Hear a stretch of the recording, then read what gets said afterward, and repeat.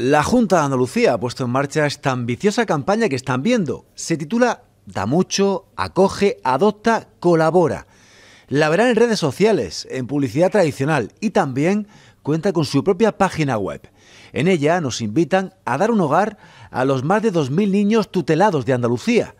Pequeños que están en centros de menores perfectamente atendidos, pero les falta algo muy importante, una familia, un hogar. Porque en Andalucía tenemos 2.000 niños tutelados por la Junta de Andalucía en centros de protección.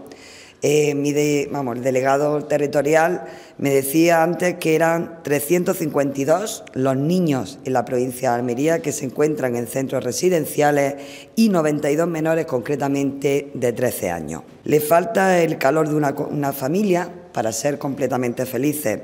Le falta no tanto ya la calidad que se la dan los trabajadores de la casa, pero sí la calidez de un hogar. Existen muchas maneras de ayudar a estos pequeños. Podemos adoptar, ser familia colaboradora o de acogida en sus múltiples modalidades. Un acogimiento en primer lugar urgente, que lo que busca siempre es que el menor no pase por el proceso de ingresar en un centro residencial de protección de menores. También están los acogimientos temporales, una temporalidad con un máximo de dos años que está pensado para acoger a esos niños y niñas que, mientras que su familia se encuentra en una situación de diagnóstico, también existe el acogimiento eh, permanente, no tiene fecha de caducidad. Está siempre el acogimiento especializado y es quizá el que más nos puede preocupar.